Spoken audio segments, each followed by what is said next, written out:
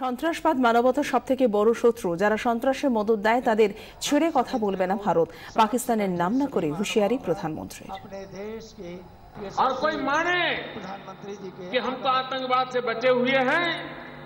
तो गलतफहमी ने न रहे आतंकवाद को कोई सीमा नहीं है आतंकवाद को कोई मर्यादा नहीं है वो कहीं पर जाकर के किसी भी मानवतावादी चीजों को नष्ट करने पर तुला हुआ है और इसलिए विश्व की मानवतावादी शक्तियों का